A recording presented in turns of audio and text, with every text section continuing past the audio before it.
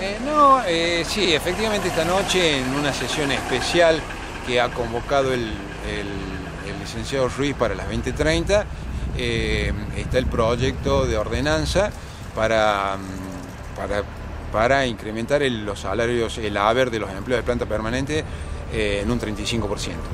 Esto yo quiero, quiero dejar en claro que se trata de un, un, tema que lo veníamos estudiando todos los concejales en forma conjunta y en distintas reuniones que hemos mantenido con los jefes de cada una de las áreas, como así también con el Sindicato de Empleos Municipales, se venía trabajando el, incremento salarial, eh, estábamos viendo cuál iba a ser el porcentaje en el cual se iba a incrementar.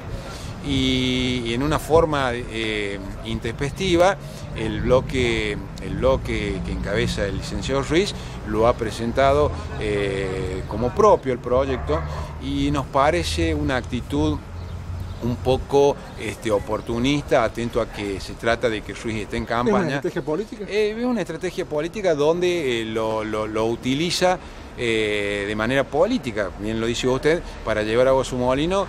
todos sabemos que él está en campaña y de esta forma busca seducir al electorado, en este caso los empleos municipales. Yo quiero aclarar que esto se trata de una cuestión que nos hemos venido preocupando todo el Consejo Deliberante en su conjunto, que no se trata de un proyecto solamente del concejal Ruiz, sino que es de todo el Consejo en conjunto y que ha sido consensuado con los jefes de todas las áreas, como así también con la gente del Sindicato de Empleos Municipales. ¿Cuánto es el aumento que se pretende? El, aumento eh, que se establece es de un 35%, que se va a dar de manera escalonada. ¿En tres eh, cuotas? En tres cuotas. Eh, la primera del mes de agosto en un 11%, en septiembre un 12% y en octubre otro 12%, lo que sumado hace un total de, un 35% de, de incremento en los haberes de los municipales.